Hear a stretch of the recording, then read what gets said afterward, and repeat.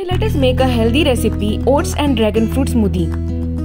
To make this recipe we need 1 4th cup oats,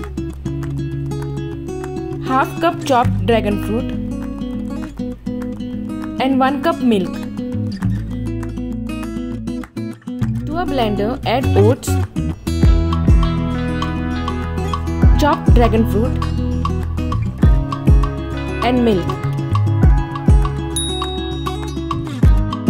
Blend until smooth. You can use any type of dragon fruit in this recipe. I have used pink dragon fruit.